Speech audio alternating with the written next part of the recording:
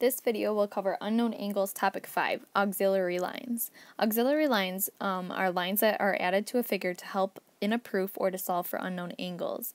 The auxiliary line is always parallel to the given lines and are always represented by dotted. Um, so here in this diagram off to the right, you can see this picture. We have parallel lines here and here. And then this auxiliary line, the dotted line, was drawn in so that we can help ourselves find the measure of angle W by first finding the measure of angle E, finding the measure of angle F, and then adding them together. So we're going to see an example down here, uh, number 17. Our goal is to find the measure of angle 1. So I can see it's very difficult to find the measure of angle 1 because I don't have a just, just a nice Z, I don't have any um, alternate exterior angles or corresponding angles. So I'm going to first start by drawing in an auxiliary line and again it's dotted and parallel to the line above it and below it.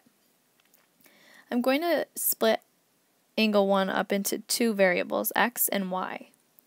If I look at finding angle x first, I notice that I have this backwards c going on.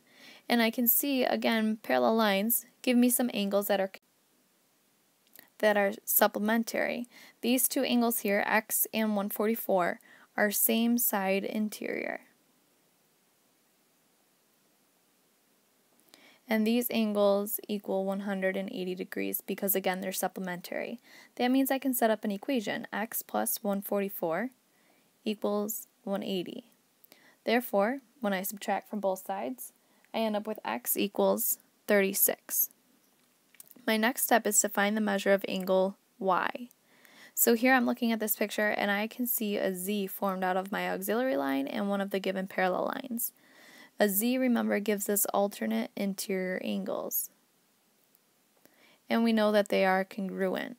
So I know that y is equal to 56. Now my last and final step here was to find the measure of angle 1, which is composed of x and y together. So all I need to do is sum the two numbers for x and y. So I have x plus y gives us the measure of angle 1, 36 plus 56 gives us the measure of angle 1, so then the measure of angle 1 is 92.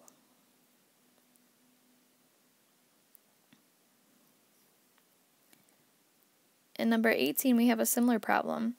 I see that I have measure of angle 1 up top. That's our goal. That, that's what we're trying to find here. I also have 96 somewhere in the middle there, and I have 130 down at the bottom. So I'm going to draw in an auxiliary line to help me solve this problem. Some students often want to take that 96 and simply split it in half and say that this angle up here, x, and this angle down here, y, are identical. They're congruent. However, that's not the case. Um, we don't know that it's a bisector. That auxiliary line I drew in is not necessarily an angle bisector, so I cannot assume that the angles are congruent. But what I can do is first find y. And I can do that by looking at my auxiliary line and one of the given parallel lines.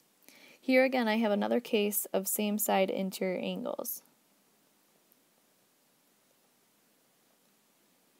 And remember we just said that they add to 180. So I'm going to take y and 130 and sum them to 180, showing me that y is 50 degrees. So I'm going to write 50 right in here.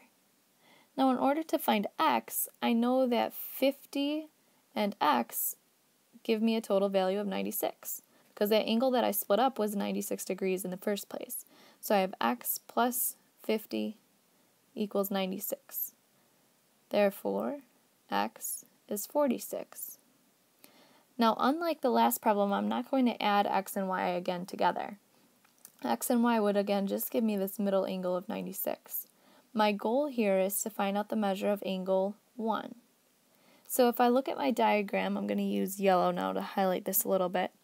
I see angle 1 and x that make a nice z here.